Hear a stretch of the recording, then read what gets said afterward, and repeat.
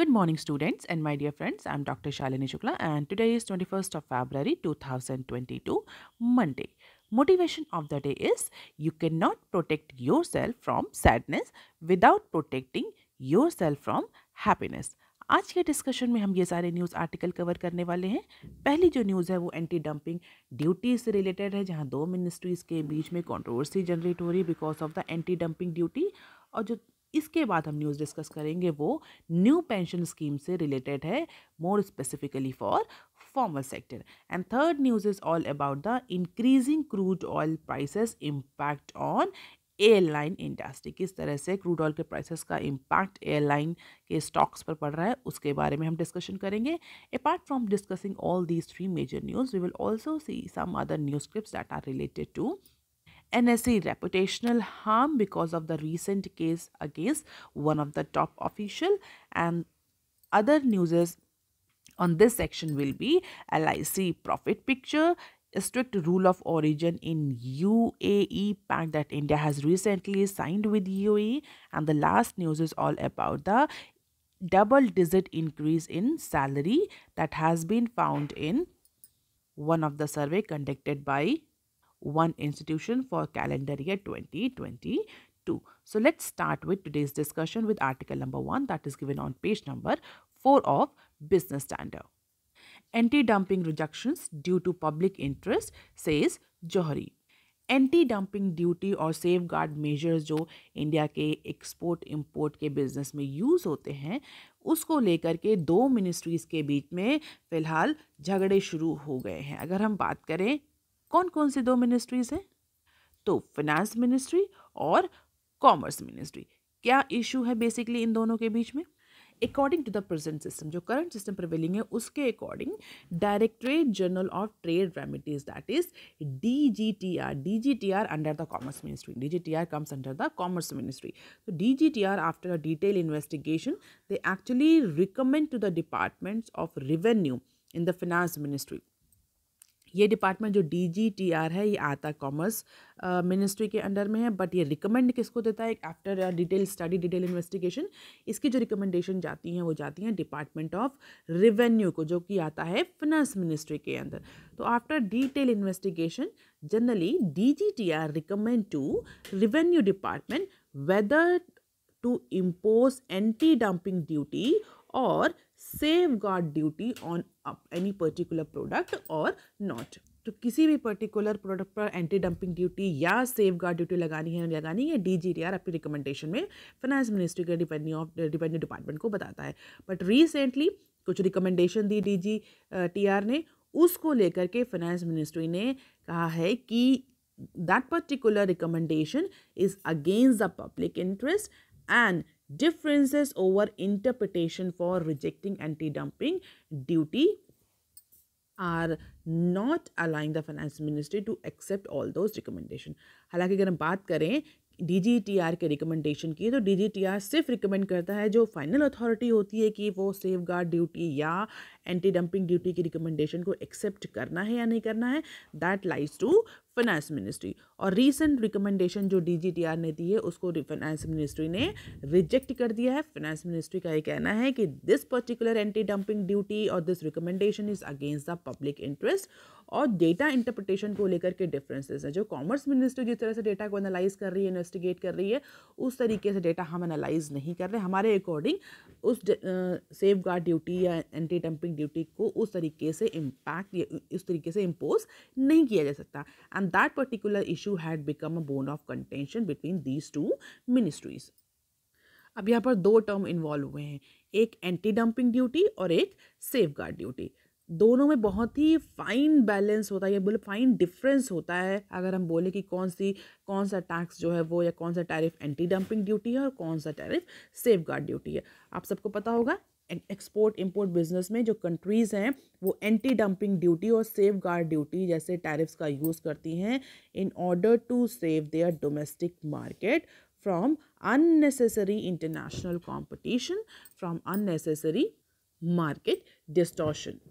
अगर बहुत simplified form में मैं आपको बताऊं तो anti dumping duty is a protectionist tariff it is a protectionist tariff that a domestic government imposes on any foreign import that it believes are priced below the fair market value. And definitely in long term, anti-dumping duties can reduce the international competition of domestic companies producing the similar goods.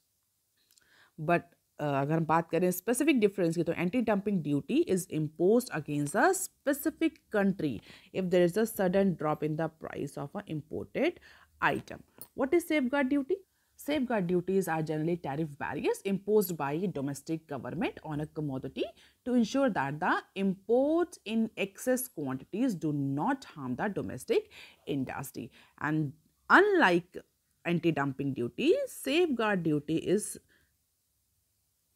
general in nature. It is not country specific, whereas anti-dumping duties are generally country specific.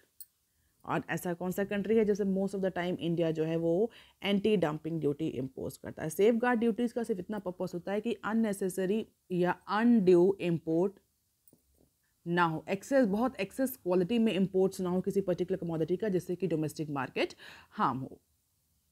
और D G T R time to time safeguard duties और anti dumping duties को लगाता रहता है, उसके लिए recommendation देता रहता है रिवेन्यू डिपार्टमेंट को। Recently director general of trade remedies has recommended a safeguard duty on solar component imports from China and Malaysia like countries और इसी को लेकर के, जो कि रिकमेंडिंग अथॉरिटी कोई और है इम्प्लीमेंटिंग अथॉरिटी कोई और है, इसको लेकर के जो पावर की शेयरिंग हो रही है, उस, उसी की वजह से ये झगड़ा अराइज हो रहा है। फ़िलहाल के लिए कैसे ये दोनों मिनिस्ट्रीज इस पर्टिकुलर इशू को रिजॉल्व करती हैं, ये फ्यूचर में देखने की बात है। And this is the anti dumping duties as on two and तो ये प्रोडक्ट्स हैं chemical plastic basic metals you can have just the percentage share of anti dumping duties on these particular product और specially to save the to safeguards the exporters of these particular commodities अब देख लेते हैं article number two that is given on page number four on cards new pension scheme for formal sector so retirement fund body that is E P F O आप मुझे comment section में ई P F ओ का full form लिखकर बताइएगा। Retirement fund body E P F O जो है वो अभी फ़िलहाल के लिए एक नई पेंशन स्कीम के बारे में सोच रही है। उस पर एक प्रपोजल तैयार कर रही है। और ये जो नई पेंशन स्कीम है, ये मोर स्पेसिफिकली उन वर्कर्स को कवर करेगी जिनकी जो मंथली सैलरी है वो पंद्रह हज़ार से ऊपर है और जो अभी तक मैंडेटरली कवर नहीं होते एम्प्लॉय पेंशन स्कीम 1995 ईपीएस 95 में जो कवर नहीं होते एम्प्लॉयज़ जिनकी जो सैलरी है वो पंद्रह हज़ार पर मंथ से ज़्यादा है। ऐसे एम्प्लॉयज़ के लिए, ऐसे वर्कर्स के लिए ऑर्गेनाइज सेक्टर से कि ऐसे वर्कर्स के लिए E P F O is actually mulling a new pension product and as per the current system अभी तक का जो स्टेटस को है, उसके अकॉर्डिंग ऐसे सारे वर्कर्स ऐसे सारे एम्प्लॉयज़ जो ऑर्गेनाइज सेक्टर में काम करते हैं और जिनकी जो बेसिक वेज है that basic basic wage plus D that is more than fifteen thousand per month और is up to fifteen thousand not more than up to fifteen thousand per month they mandatorily have to cover under this particular pension scheme, that is EPS 95 तो पंद्रह हज़ार तक की जिसकी भी salary है, basic wage है ऑर्गेनाइज सेक्टर के वर्कर की, उनको मैंडेटरी इस particular pension scheme employ pension scheme में रजिस्टर्ड होना पड़ता है। और जो अभी रिसेंटली जिस पर्टिकुलर न्यू पेंशन प्रोडक्ट के बारे में ई सोच रहा है, वो उन वर्कर्स के लिए जिनकी सैलरी पंद्रह हज़ार से ज़्यादा है। And there has been the demand for higher pension and higher contribution among the member of employ provident fund organisation and thus it is under active consideration by E जहाँ पर ऐसे एम्प्लॉयज़ को cover किया जाएगा या ऐसे workers को cover किया जाएगा जिनकी मंथली बेसिक वेज पंद्रह हज़ार से ज़्यादा है, जो E P S ninety five scheme के तहत कवर नहीं होते। And as per the sources इस पर्टिकुलर न्यू पेंशन प्रोडक्ट को लेकर के जो भी डिसीज़न है वो बहुत जल्दी आएगा क्योंकि ई e की जो एपेक्स डिसीज़न मेकिंग बॉडी है that is central board of trustee आप याद रखेंगे ई e की जो एपेक्स डिसीज़न मेकिंग बॉडी है that is C B T central board of trustee that is situated in Guwahati that will decide on this matter into upcoming uh, meeting. इसके अलावा central board of trustees ने एक working group की committee भी set करी थी। इसी new pension product के स्टडी के लिए कि किस इसकी क्या रिक्वायरमेंट है और किस तरीके से ये न्यू पेंशन प्रोडक्ट आ सकता है। वो टीम भी वो कमेटी भी अपनी रिपोर्ट जल्दी ही सबमिट करने वाली है। And sources explain that there are EPFO subscriber who are getting more than 15,000 monthly basis wages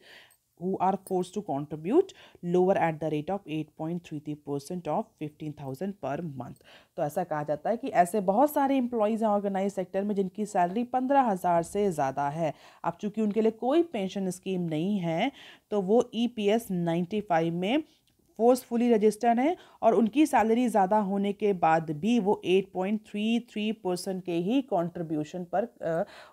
cover हो रहे हैं। क्यों? क्योंकि उनके लिए कोई भी नई पेंशन स्कीम अलग डिफरेंट पेंशन स्कीम नहीं है, जो कि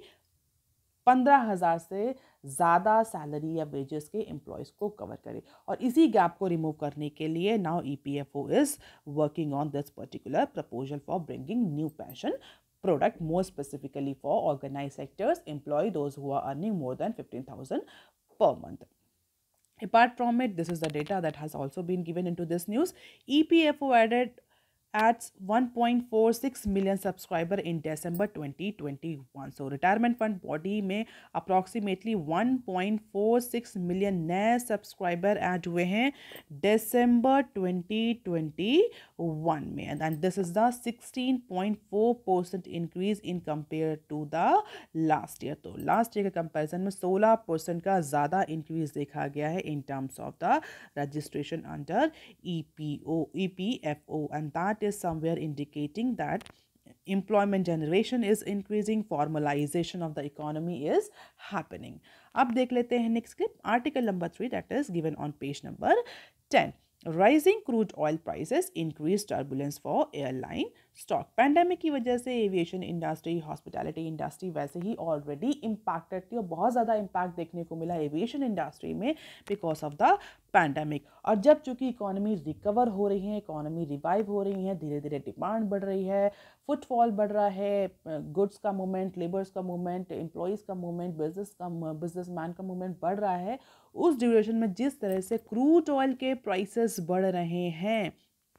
that particular increasing crude oil prices are again causing the turbulence for airlines aviation industry on different different manners for a sector having posted a net profit after the gap of eight quarters but the cheer may be short lift as per the expert क्योंकि जो cost pressure है इन companies पर because of the increasing crude oil prices वो बहुत ज़्यादा increase हो रहा है। इसके अलावा कंपटीशन भी बढ़ रहा है क्योंकि इकोनॉमिक रिवाइवल स्टार्ट हो चुका था। Higher competition could offset the positive from yield improvement तो जो इंप्रूवमेंट रिकवरी एंटिसिपेट की जा रही थी एविएशन इंडस्ट्री में, उसको लेकर के अभी भी क्वेश्चन मार्क है, क्योंकि एक्सपर्ट्स का यह कहना है क्रूज ऑयल के prices increasing competition all these are the factor that are actually offsetting the positive from yield improvement and growth revival expectation. अगर बात करी जाए स्टॉक प्राइस मूवमेंट की कंट्री के जो लार्जेस्ट एयरलाइन है that is inter group aviation IndiGo in recent week reflect the same ah strong showing in December quarter and an improvement in passenger traffic by twenty two percent surge its stock prices since the start of February तो crude oil के prices बढ़ रहे हैं। Stock तो maintain ही करना है क्योंकि passenger का जो फुटफॉल है वो भी बढ़ चुका है and that is actually impacting the stock price movement of largest airline in India जैसा कि हम सीधे सीधे इंडिको के केस में देख सकते हैं। In near term movement of crude oil prices and aviation turbine fuel in short we call it A T F will weigh the profitability of IndiGo and SpiceJet like companies और जिस तरीके से crude oil के prices बढ़ रहे हैं stock price movement fluctuate कर रहा है जो एविएशन कंपनी है, उनका प्रॉफिट मार्जिन कहीं ना कहीं आगे डिक्रीज होने वाला है। तो ये एंटिसिपेशन हो रहा था कि अब चूँकि इकॉनमी रिकवर हो रही है रिस्ट्रिक्शंस जो हैं वो ईज आउट हो रहे हैं तो जो एविएशन इंडस्ट्री है वो वापस से रिकवरी करेगी, वापस से अपनी बूम स्टेज पर आएगी। बट ऐसा कहीं भी देखने को नहीं मिल रहा है, क्योंकि अगर क्रूड ऑयल के प्राइसेस अपने पिछले सात सालों के हाई पॉइंट पर हैं, और ऐसा एंटिसिपेट किया जा रहा है कि अभी और इंक्रीज़ होंगे। So definitely they, are going to have impact on aviation turbine fuel, stock price movement, and finally the profit margin of these aviation companies. And this is the quarter 3 financial year 22 results. Strong recovery has been shown by these companies but quarter 4 and upcoming year upcoming quarters may not be that much motivating or enthusiastic अब देख लेते हैं some other news clips L I C profit picture not so pretty compare to size so life insurance corporation of India will be the companies country's largest company in terms of revenue and assets when it lists on stock exchanges. तो जैसे ही IPO आएगा, ऐसा कहा जा रहा है expert जो हैं, जो बिज़नेस एक्सपर्ट्स हैं दे आर सेइंग आईपीओ आने के बाद जो एलआईसी है, वो कंट्री की लार्जेस्ट कंपनी बन जाएगी in terms of revenue and asset size लेकिन फिर भी this will be counted as a mid size company किसके बेसिस पर? नेट प्रॉफिट और नेट वर्थ के बेसिस पर अगर देखा जाए तो this particular L I C will be the mid size और मिड कैप कंपनी तो भले ही असेट साइज़ और रिवेन्यू के बेसिस पर एल आई सी इंडिया की नंबर वन कंपनी हो बट स्टिल प्रॉफिट और वर्दीनेस के केस में अभी भी एल आई सी की पिक्चर बहुत ज़्यादा रोजी नहीं है। The insurance company reported revenue around seven point zero four trillion in financial year twenty one तो फाइनेंशियल ईयर ट्वेंटी वन में अप्रॉक्सीमेटली सात ट्रिलियन का जो रिवेन्यू है, वो रिपोर्ट किया है एल ने, जो कि पिछले साल से उसके रिवेन्यू से बहुत ज़्यादा है। और अगर रिलायंस इंडस्ट्री जो कि टॉप आती है चार्ट में लिस्ट में, अगर उसके रिवेन्यू से कंपेयर करें तो nearly forty percent more than those of Reliance Industries which top the chart in the list space with five point zero five trillion last financial year तो जो टॉप कंपनी है रिलायंस उससे अप्रॉक्सीमेटली चालीस percent ज़्यादा revenue register किया है LIC ने। लेकिन अगर प्रॉफिट की रिपोर्ट देखा जाए, प्रॉफिट का डेटा देखा जाए तो L I C reported consolidated net profit और surplus of approximately four thousand five hundred seventy nine crore in the very same year, that is financial year 21 and which put it 31st spot. और इसके according चौंतीसवें number पर LIC आता है in terms of the most profitable companies in the country even just behind the Bajaj Auto and Bajaj Finserv तो revenue के basis पर रिलायंस से भी आगे है, लेकिन एक्चुअल प्रॉफिटेबिलिटी के बेसिस पर चौंतीस नंबर पर आती है एल आई सी एक्सपर्ट्स का कहना है कि जिस तरह से रोजी पिक्चर प्रॉपर्टी पिक्चर आप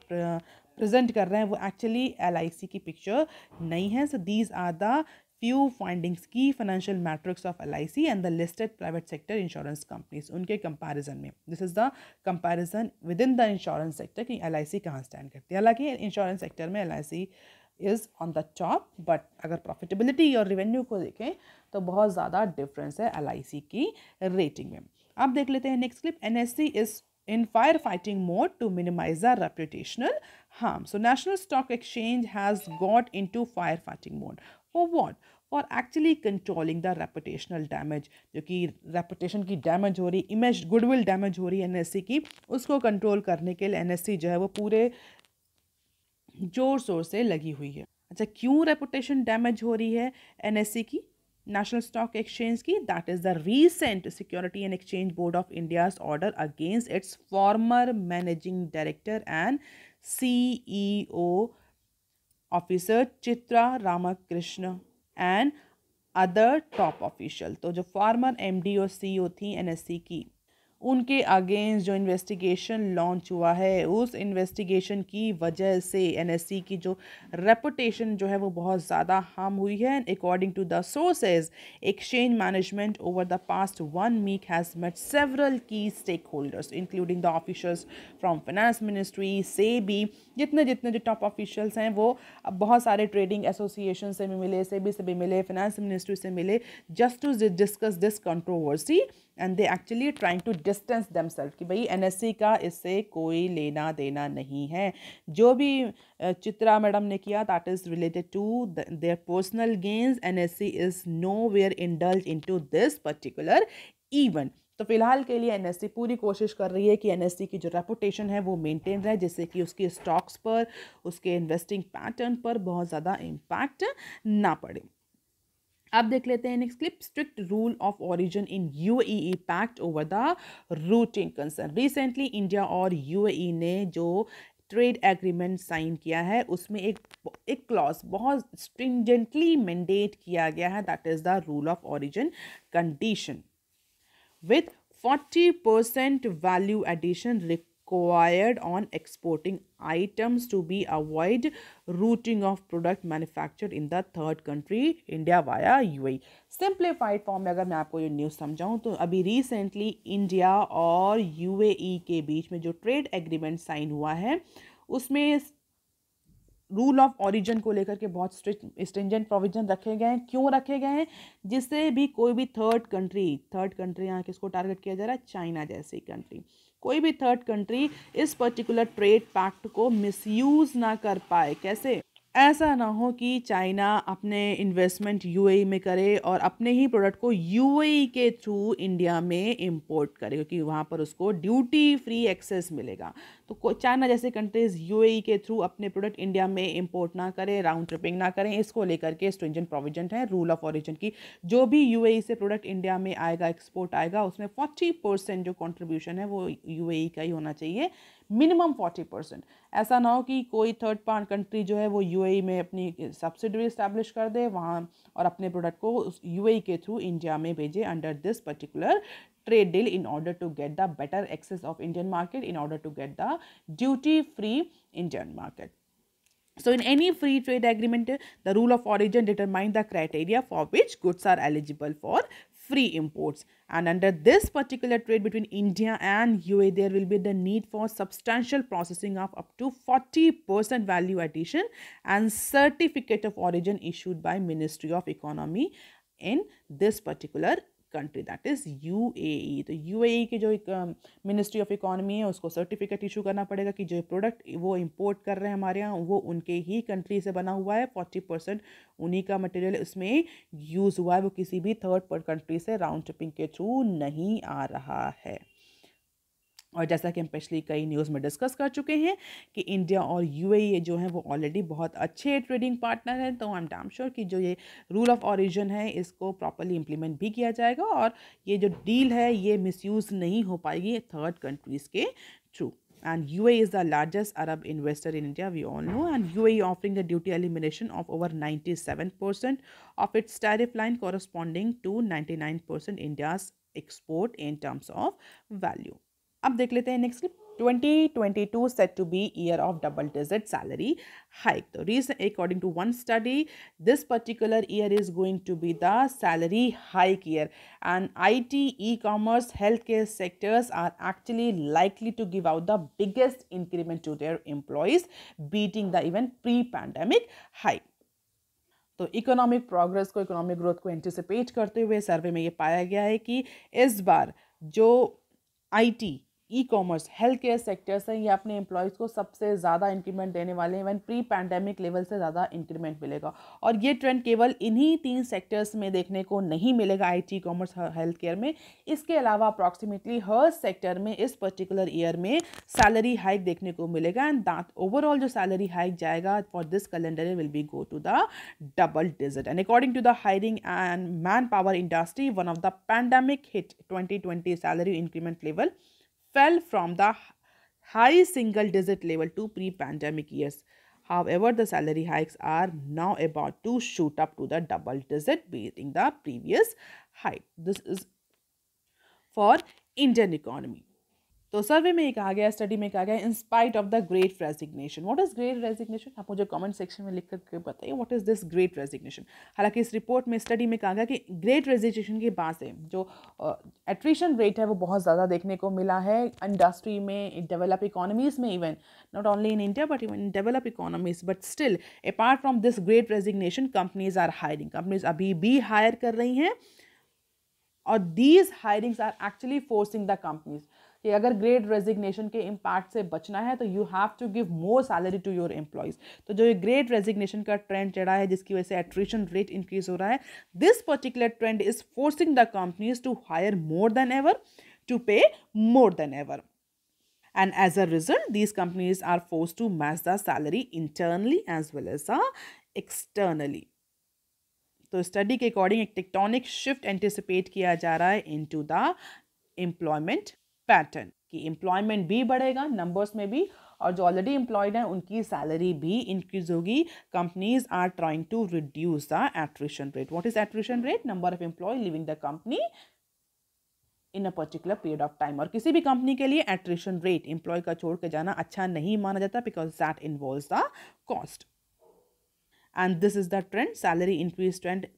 in comparison to the last year that is 2021 we can just have the glimpse of it average 9.90 percent का सैलरी इंक्रीमेंट देखने को मिलेगा in terms of salary in terms of rupee it e-commerce health sector will be the core sector for giving the increment so that is all for today students if you want lecture pdf you can join my telegram channel you can also follow me on other social media platforms if you have any query and suggestion you can write on comment section below please like share and subscribe. Thank you. Have a nice day